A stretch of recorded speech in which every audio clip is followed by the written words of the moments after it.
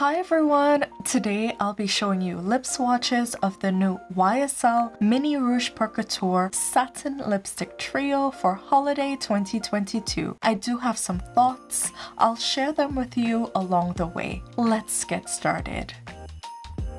This year's design on the product and packaging caught my eye. The raised pattern, colors, and print at the back of the box are lovely, but this is cheap cardboard that dents easily and you're likely to toss out. I'm a little more forgiving of the gold pouch. It's decent, from the embossing to the printed logo at the front and engraved YSL on the zipper all the beautiful details are there. The lipsticks are housed in beautiful gold packaging, displaying the logo front and center. They're lightweight and its jewel-like packaging are prone to fingerprints. Here are the three shades that come in this set, Le Nude, Le Rouge, and Fiery Red. Let's dive into the swatches, starting with the shade number 70, Le Nude.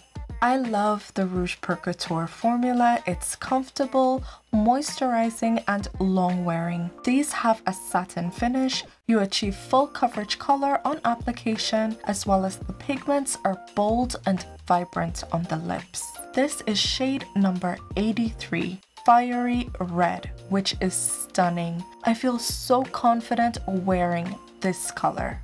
I already own shade number 1 Le Rouge, which is one of my favorite red lipsticks and is also a bestseller by the brand. I'll insert both Dior and Tom Ford minis for size and aesthetic reference if you're interested.